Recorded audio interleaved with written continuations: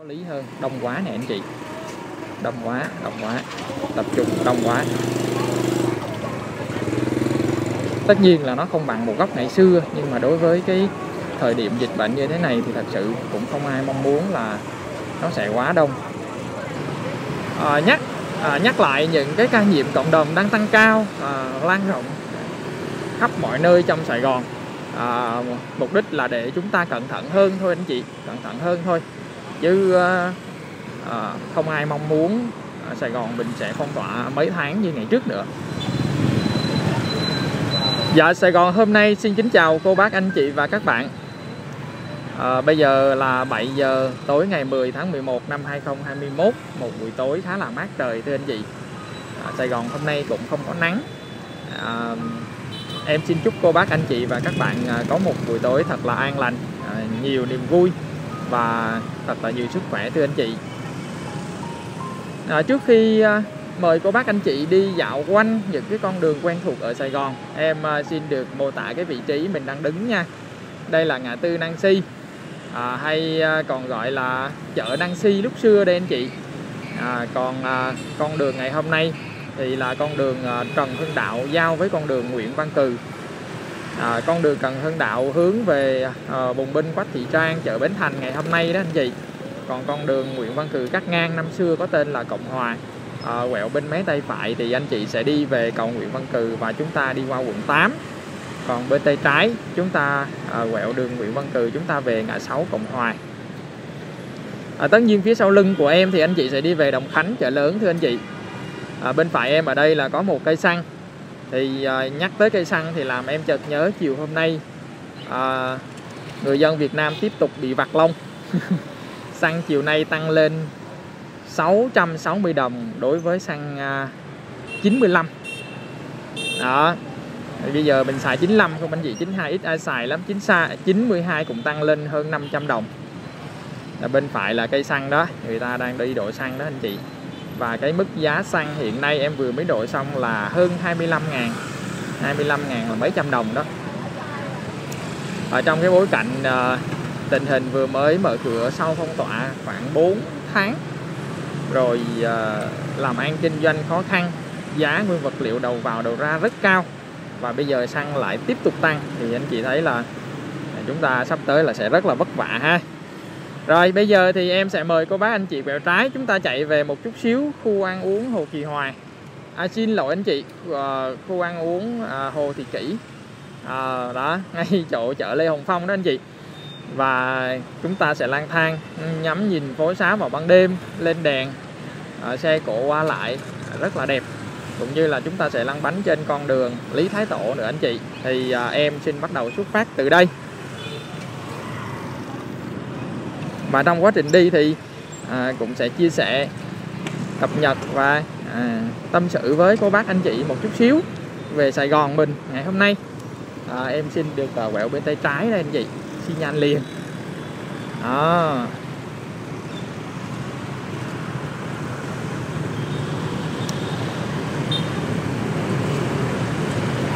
Tối tối thì à, các bạn trẻ đi chơi cũng à, rất là nhiều ha. Bây giờ em chạy vào khu vực à, hồ thị uh, hồ thị kỷ xem sao? Khu ăn uống hồ thị kỷ.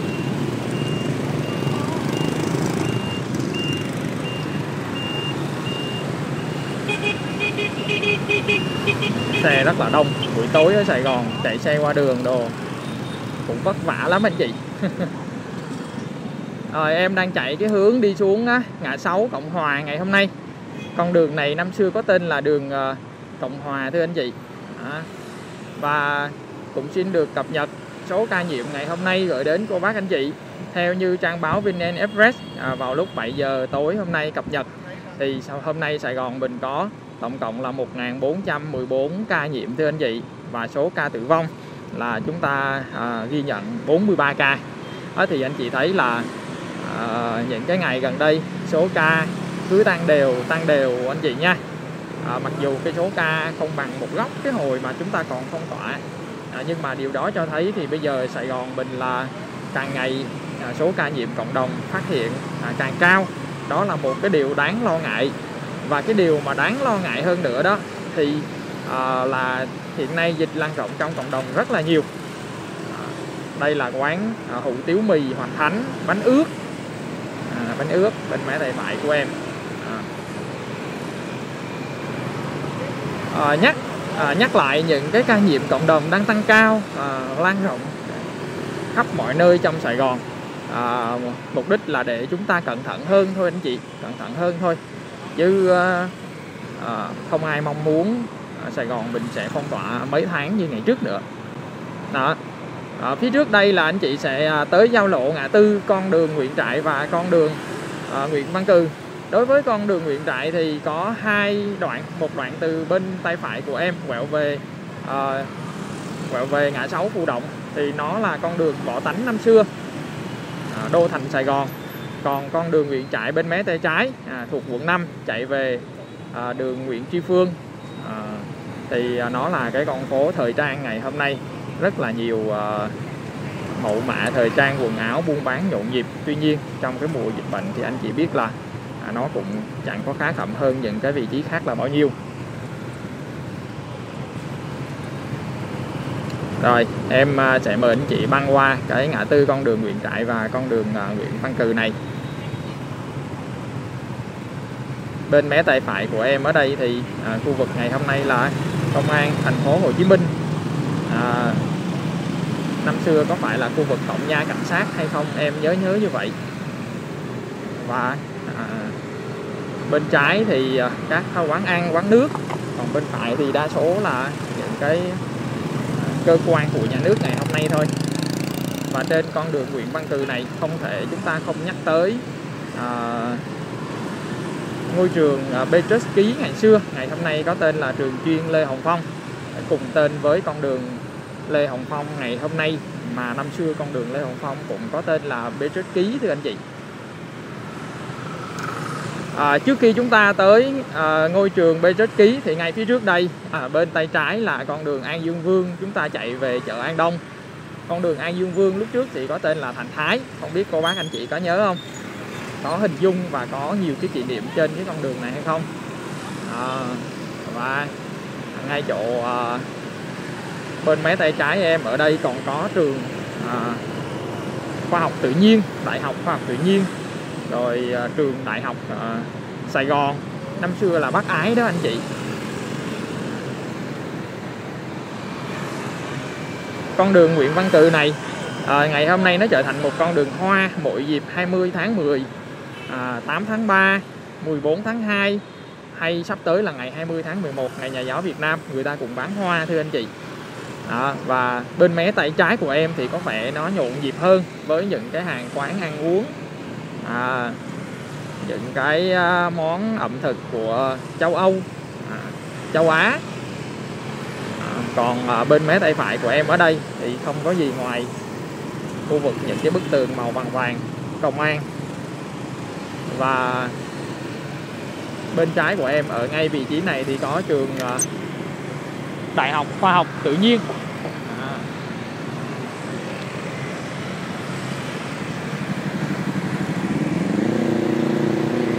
Đây, ngay vị trí này muốn chia sẻ đến cô bác anh chị một uh, trung tâm thương mại Now Zone nằm ngay khu vực uh, một bên uh, ngã sáu Cộng Hòa này. Uh, với những uh, cái lối hành lang rất là nhiều quán cà phê. Ban đêm thì nhiều bạn trẻ ngồi uống cà phê vui chơi. Bây giờ 7 giờ thì em cũng không biết là à, có nhiều hay không. Có nhiều người ăn uống vui chơi hay không. Đây thưa anh chị và ngày hôm nay ở đây thì có một cái cầu vượt à, anh chị à, ở đây có một cái cầu vượt nha. Cầu vượt này ngày hôm nay được làm mái che. Và ở bên mé tay trái của em ở đây thì không có gì khác ngoài ngôi trường Petrus Ký Lê Hồng Phong. Thưa anh chị.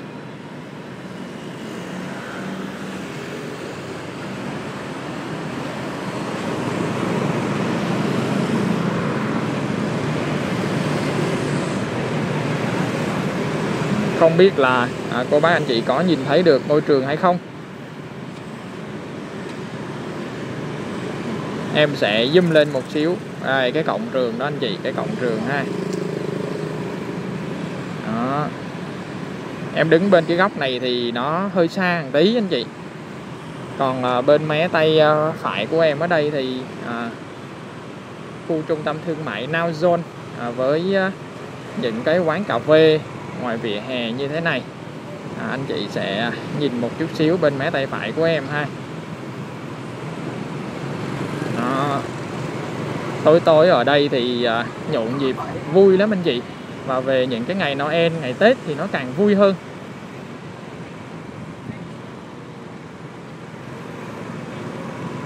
Now Zone đây, chúng ta gửi xe ở cái vị trí này. Đó.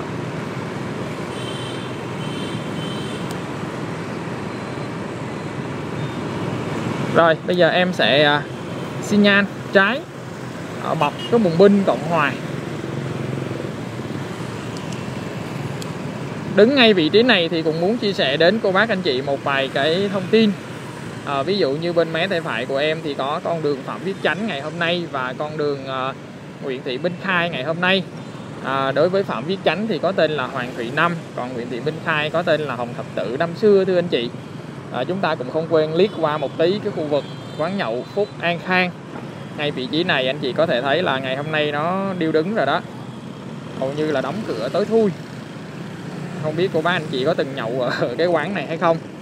Còn à, ở bên mé à, tay à, trái của em thì có con đường Lý Thái Tổ con đường Hùng Vương và con đường Trần Phú. Con đường Trần Phú thì ngày xưa có tên là Nguyễn Hoàng thưa anh chị. Rồi em sẽ xi nhan trái. Bọc bùng binh. Buổi tối thì à, xe cổ rất là đông ở cái khu vực uh, bùng binh à, Cộng Hòa này em sẽ di chuyển trên con đường Lý Thái Tổ thưa anh chị. Chúng ta sẽ đi về à, chợ hoa Hồ Thị Kỷ khu ăn uống Hồ Thị Kỷ chợ Lê Hồng Phong. Hay à, người ta còn hay gọi là khu chợ Campuchia anh chị.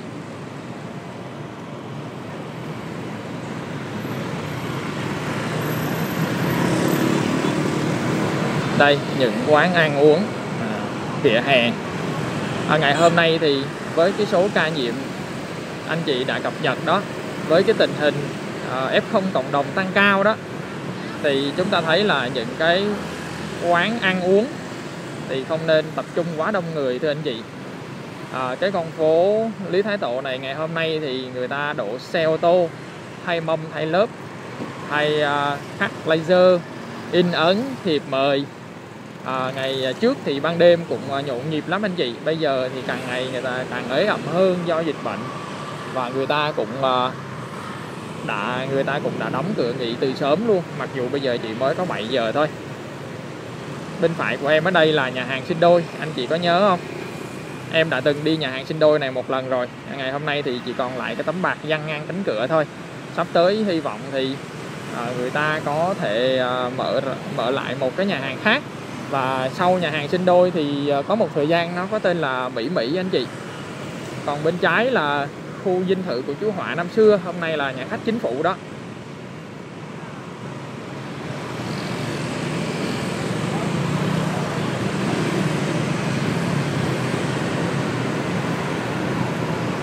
Tối đi làm ra thì cứ phải làm một vài ly, ăn vài cái lậu hoặc là mấy cái ờ, dĩa ốc mới gọi là vui. Ở đây có một quán mực khổng lồ, ẩm thực đường phố, Hồng Kông. Ngay ờ, đường ờ, ở Nguyễn Đình Chiểu đây Nguyễn Đình Chiểu phía trước đây anh chị. À, phía trước đây và lúc xưa thì là Phan Đình Phùng. À, bên tay phải anh chị có thể quẹo một đoạn tới con đường Cao Thắng.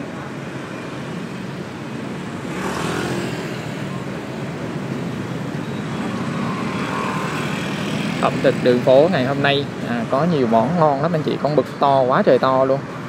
Nhìn nó hấp dẫn quá. mặc dù ăn cơm rồi nhưng vẫn rất là thèm.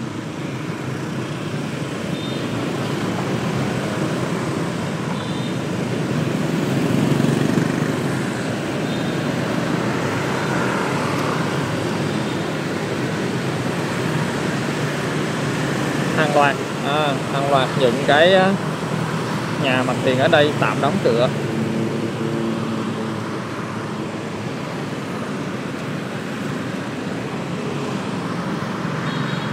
nhà có F0 khu vực ờ, uh, Hoàng Cờ Vườn Chuối Lý Thái Tổ này rất là nhiều F0 thưa anh chị. Nhà có F0 là người ta sẽ treo một cái bảng phía trước nhà.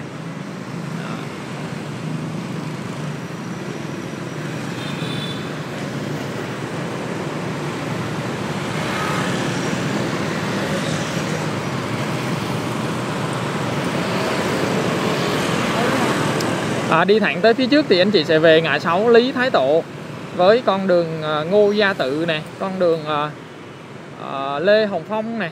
À, Ngô Gia Tự năm xưa là Minh Mạng đó thưa anh chị. Lê Hồng Phong là Petrovsky và một hướng của con đường Điện Biên Phủ. Ngày hôm nay năm xưa là Phan Thanh Dạng à, thì bây giờ em sẽ quẹo bên mé tay trái ở đây con đường Hồ Thị Kỷ thưa anh chị. À, và cũng xin chia sẻ với cô bác anh chị vị trí này một chút xíu là đi tới phía trước chúng ta có cư xá hỏa xa hay là cư xá đường sắt. Hôm nay khu sống mức sống mức à, và cũng là một khu sống nghèo đại khái là như thế. Nếu như chúng ta đi vào chúng ta sẽ thấy những cái hình ảnh nó nghèo thiệt anh chị. Rồi em xin xi nhan qua đường chạy vào con đường hoa Hồ Thị Kỷ đêm nay. Và hy vọng sẽ gửi đến cô bác anh chị những cái hình ảnh mới nhất trong tối ngày 10 tháng 11 này con đường hoa này thì anh chị quá quen thuộc rồi. Cứ tới mỗi cái mùa à, như là lễ Tết. Và ở đây có lẽ là nhiều bạn trẻ đang à, gửi xe đi bộ để vào khu ăn uống. À, em xin à, quẹo bên mé tay trái trước nha. Phố chuyên doanh hoa và ẩm thực Hồ Thị Kỷ. À, đi con đường này là à, để cập nhật anh chị một đoạn trên con đường à, đường hoa này. Gửi xe bên trái này anh chị. Phố ẩm thực gửi xe bên trái. Wow. Chú này mở xe ô tô ra nhưng à, có lẽ là chưa quan sát kỹ. Và đây là những cái hình ảnh của cái chợ hoa Hồ Thị Kỷ đêm hôm nay. Ở tối ở đây thì có lẽ là rất là nhiều à, món ăn thưa anh chị.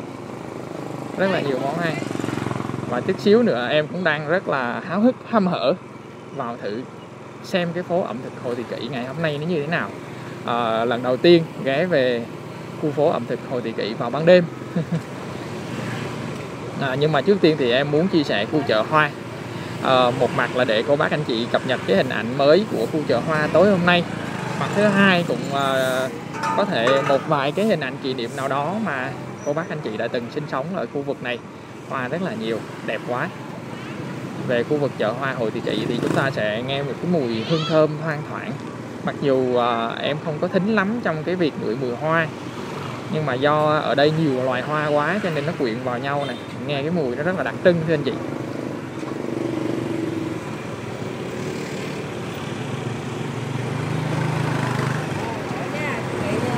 Bây giờ thì gần vào Tết rồi. À, nói vậy chứ chỉ còn có hơn 2 tháng nữa thôi và chúng ta tới Tết âm lịch.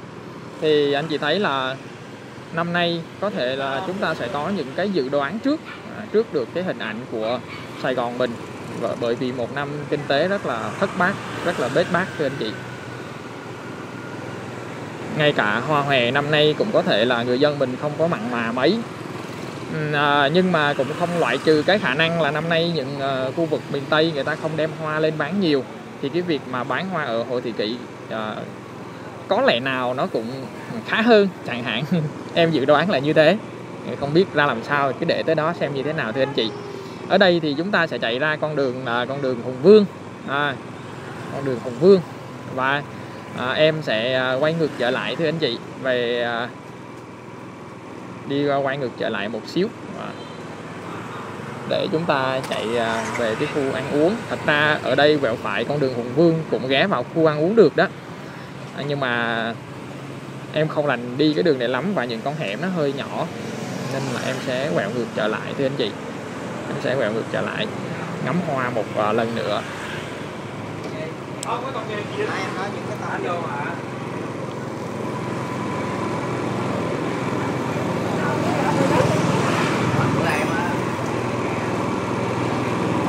À, con đường hoa Hồ Thị Kỷ thì anh chị sẽ thấy à, rất là nhiều cái hình ảnh khác nhau vào mỗi thời gian khác nhau. Ví dụ như tới cái mùa 14 tháng 2 vào đây sẽ rất là nhộn nhịp đông vui và chen lấn nhau không có lối đi. À, nhưng mà những cái ngày bình thường như thế này thì anh chị thấy là à, nó vắng vẻ. Đó.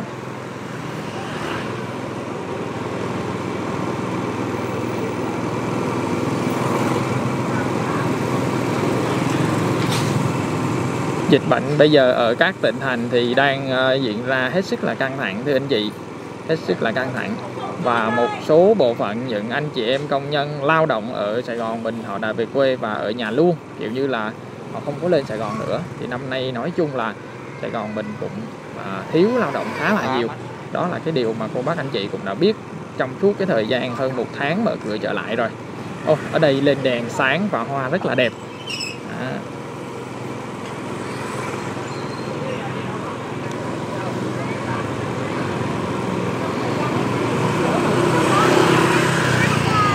À, ở khu chợ này thì à, có thể là bán rất là nhiều cái đặc sản của Campuchia đặc biệt là theo như em được biết là mắm các cái loại mắm rất là nhiều.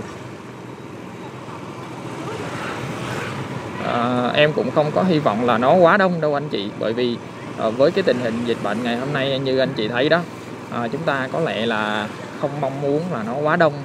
Bởi vì như thế thì à, có cái nguy cơ dịch bệnh tràn lan quay trở lại thì chúng ta rất là mệt mỏi đặc biệt là sắp tới cái giai đoạn cuối năm rồi anh chị. À, không có gì hơn là lo làm ăn là chính thôi. À, anh chị có thể gửi xe bên tay phải đây ha một ngôi trường.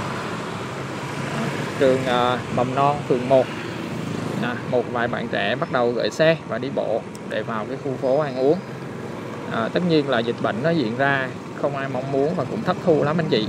Nếu như không có dịch bệnh thì những cái khu phố như thế này công suất đạt khoảng 100% thì ôi thôi rất là đã đời luôn anh chị ơi. Nhạc nhẽo nè các quán ăn nè giữ xe phố ẩm thực đây. Đó. không biết là có cho xe máy vào hay không đây là lần đầu tiên em vào.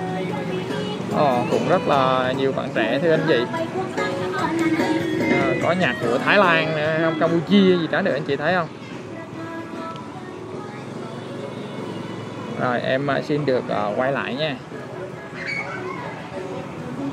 phô mai Thái nè ở đây thì uh, chắc có lẽ là món Thái món Campuchia món Lào đồ gì thì nhiều. Và người ta mở nhạc uh, rất là vui. À, anh chị hôm nay là ngày bình thường nha. Thì anh chị có thể suy ra được là những cái ngày bất thường. À không phải. Những ngày cuối tuần anh chị. Hôm nay là hình như thứ tư thì phải. À, em nhớ không nhầm thì như thế. Và anh chị thấy là nhiều bạn trẻ đi ăn uống ghê không? Và cái khu phố này thì nó em đọc báo em thấy thì không những nó đông vào những cái ngày mở cửa mà những cái ngày mới mở cửa chưa được phép bán tại chỗ cũng đã rất là đông rồi. Nhưng mà thật sự là nhìn rất là hấp dẫn thêm gì? Nhiều uh, món ăn ngon quá chủ yếu là đồ nướng. À, bây giờ là 7 giờ 30 phút có lẽ 8 giờ còn sẽ còn đông hơn. À, nhiều bạn trẻ đi ăn quá ngồi từng nhóm từng nhóm như thế này. À, anh chị thấy cái nguy cơ mà nó bùng dịch là cái chuyện hết sức bình thường. Đó nếu như à, mà là em thì em sẽ đi vào đây một vòng và mua những cái món mình thích. Sau đó thì à, chạy đi tìm một cái khu công viên nào đó à, vắng vẻ hơn à, thông thoáng hơn ngồi ăn thì nó có lý hơn. Đông quá nè anh chị. Đông quá đông quá. Tập trung đông quá tất nhiên là nó không bằng một góc ngày xưa nhưng mà đối với cái thời điểm dịch bệnh như thế này thì thật sự cũng không ai mong muốn là nó sẽ quá đông. Ngay bản thân em cũng như thế không mong muốn đông quá như thế. San sát nhau.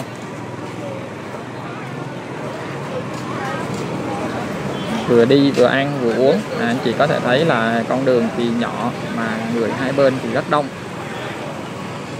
em mới chỉ đi con đường thẳng thôi anh chị chưa có đi những cái con đường quẹo.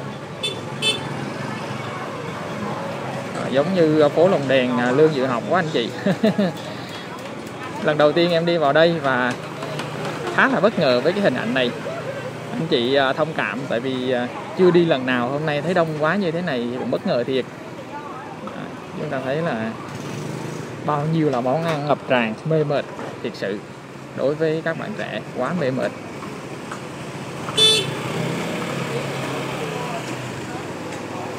Một vài cái hình ảnh như thế này hy vọng là anh chị cập nhật cái tình hình ăn uống của Sài Gòn mình. Thấy đông quá này.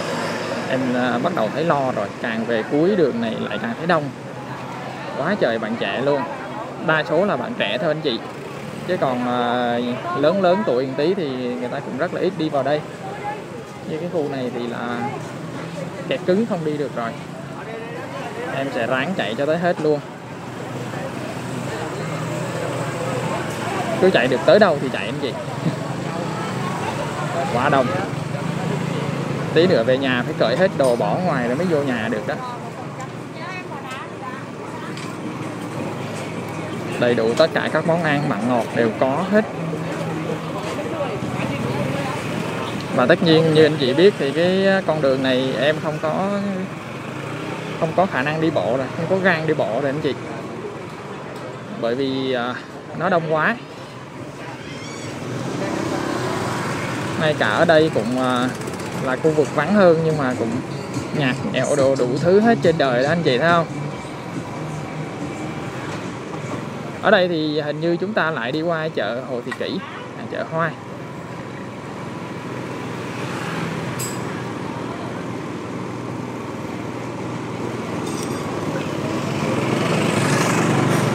Rồi em sẽ quẹo vào một cái con à, hẻm nữa để đi qua lại cái khu ăn uống đó.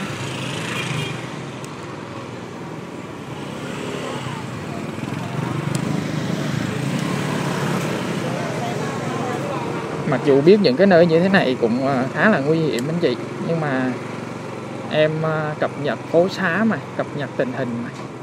Thì ờ, cũng cố gắng thôi. Nhưng mà anh chị biết là cái khu Hồ Thị Kỵ này cái đợt mà dịch bệnh xảy ra ở Sài Gòn mình đó, thì cái khu này cũng là một trong những cái khu bị đầu tiên và phải đóng cửa lần đầu tiên đó. À, oh, đông đúc nhộn nhịp.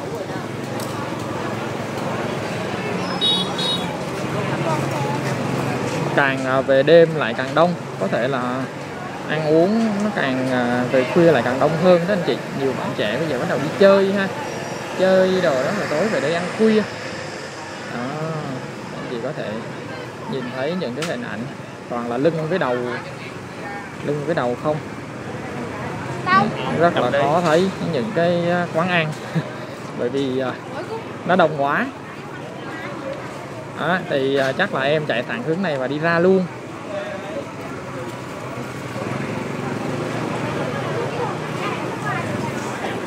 Thua rồi.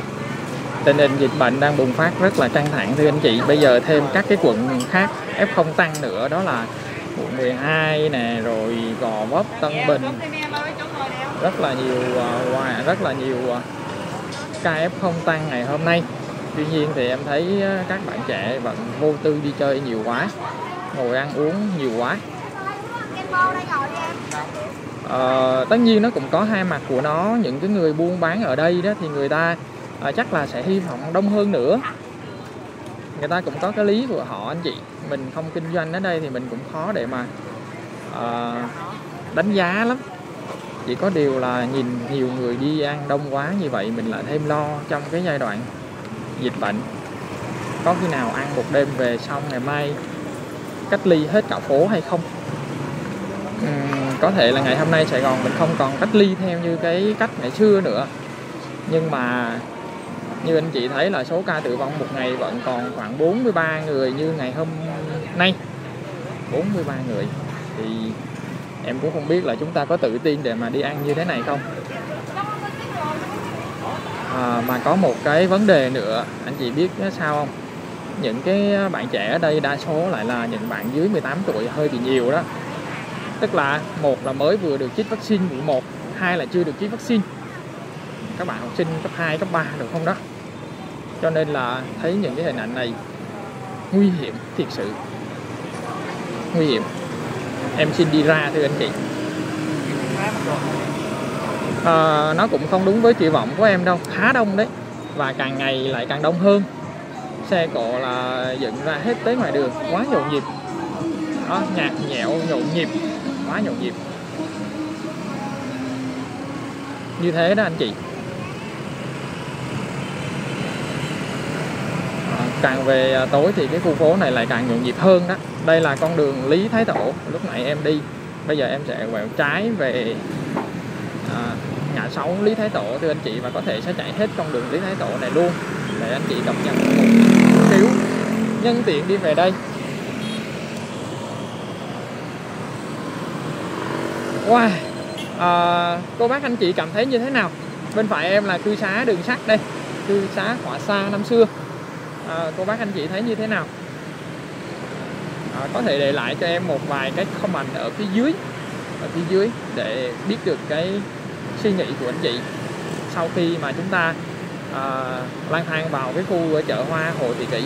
À, à, theo như à, cá nhân em thấy thì hơi lo lo một chút xíu. Các bạn trẻ tập trung ăn uống quá đông. À, không tất nhiên ăn thì không thể mang khẩu trang được rồi anh chị. À, và hy vọng với những cái hình ảnh này với cái tình hình dịch bệnh càng ngày càng gia tăng và cái nhu cầu ăn uống của người dân thì có thể nào có ai chế ra được cái khẩu trang mà vừa ăn vừa bịt được hay không anh chị? Em đang nghĩ như thế. Bên phải em là con đường điện biên phủ à, phan thanh dạng năm xưa để chạy về hàng xanh. Còn góc này có con đường lê hồng phong là bê trích ký hôm nay à, hôm xưa anh chị để đi về trần quốc toản 3 tháng 2 ngay chỗ viện hóa đạo. Còn em à, xin mời cô bác anh chị chúng ta đi thẳng trên con đường lý thái tổ và có một cái địa điểm cũng muốn được chia sẻ đến cô bác anh chị trong buổi tối hôm nay đó là chợ cá Trần Quốc Toản năm xưa. Trước khi tới chợ cá thì bên phải đây chúng ta có chợ chuồng bò con hẻm chợ chuồng bò. Và ngày hôm nay thì chợ chuồng bò hầu như ban ngày không có họp chợ để anh chị nhưng ban đêm thì có bán lẩu và bán ốc. Đó. chúng ta sẽ lang thang tới đây. Tới cuối đường con đường Trần Quốc Toản 3 tháng 2 à, lúc sáng thì em có đi ngang đây tại vì chợ à, à, con trai của em đi à, khám bệnh ở bệnh viện Nhi Đồng. Thì à, ngày hôm nay khám bệnh à, ở bệnh viện Nhi Đồng á là người ta chỉ cho một người đi vào với con thôi. Hai vợ chồng đi thì một người sẽ ngồi ở ngoài đợi. Đó một người đi vào và khai báo y tế xong người ta sẽ có một cái à, một cái tờ giấy dán giống như mình đi ăn buffet anh chị dán cái kịch lên trên người đó là chúng ta được quyền đi vào khám bệnh. À, khai báo y tế đó là cái tình hình của bệnh viện Di Đồng ngày hôm nay. Còn có con phố Lý Thái Tổ này ban đêm cũng nhộn nhịp quá anh chị nè. Và ờ, hôm nay người ta bán rất là nhiều cái loại như là thảm nè rồi cỏ nhân tạo để chạy sân bóng đá hay là à, những cái ờ, màn rèm che à, cho nhà cửa của mình. Đó là trên à, con phố Lý Thái Tổ đoạn à, bệnh viện Di Đồng. Đó à, ở đây có chiếu tre chiếu trúc nữa anh chị. À, trong à, à, chiếu tre chiếu trúc nằm rất là mát vào cái mùa nắng nóng đó thì nằm chiếu tre chiếu trúc rất mát thưa anh chị.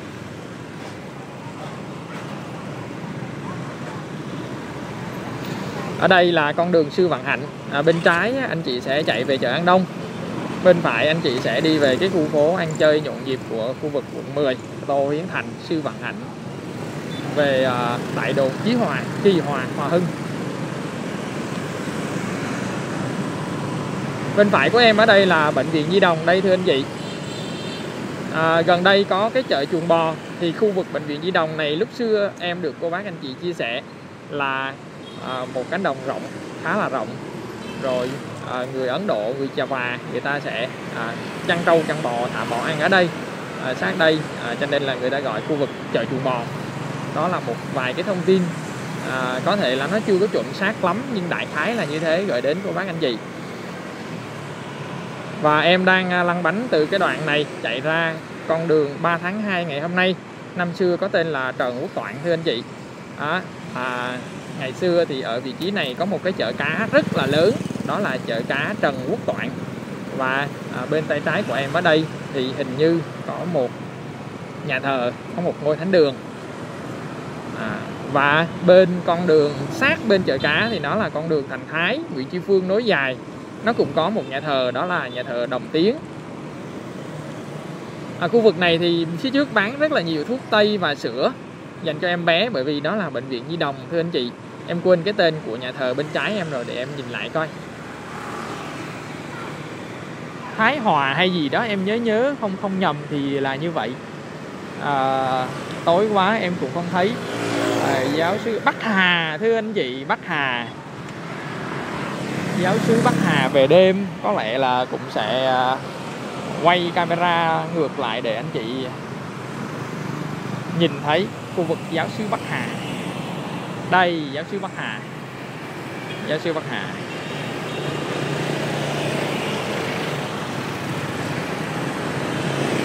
Biết bao nhiêu là kỷ niệm.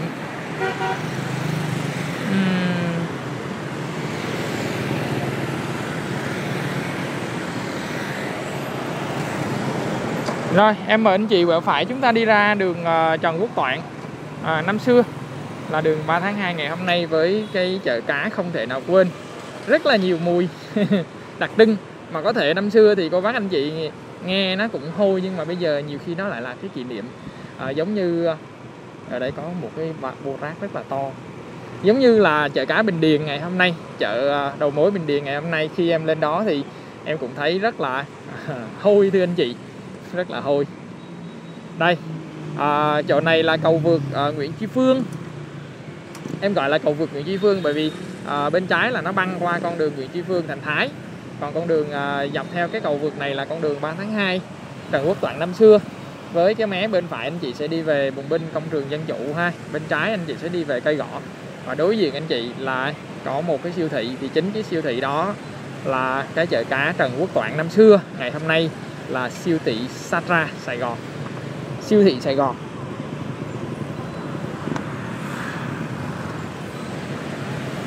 Gần đây phía sau xung quanh những cái trại gia binh.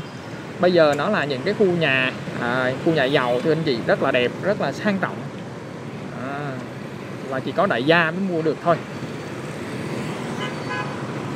Đây là khu chợ cá Trần Quốc Toản đó bây giờ là cái siêu thị đây ngày hôm nay thì tất cả các cái siêu thị cũng đã được mở trở lại hết rồi. À, và vị trí này thì quá là đẹp để em à, tạm chia tay cô bác anh chị rồi. Chợ cá Trần Quốc Toản năm xưa. Bây giờ là siêu thị Sara cũng à, nhìn cũng vắng vẻ ghê anh chị. Không có đông đúc lắm. À. và ngay vị trí này thì em cũng à, tạm dừng các clip. À, tạm dừng các clip ở đây thưa anh chị à, với cái hướng này thì chúng ta đi tới ngã tư huyện Chi Phương Thành Thái với đường 3 tháng 2 ngày à, xưa là Trần Quốc Toản à, bên trái anh chị về Đại Thế Giới Lát Ca Gia còn bên phải thì anh chị về nhà thờ Đồng Tiến. À, đi về hướng Tô Hiến Thành về hướng cư xá Bắc Hải thưa anh chị. À, và một lần nữa em xin chúc cô bác anh chị và các bạn luôn bình an và thật là nhiều sức khỏe. Ngay vị trí này em muốn được kết thúc các clip hẹn gặp lại cô bác, anh chị và các bạn ở các clip sau trên kênh Sài Gòn hôm nay. Bye bye.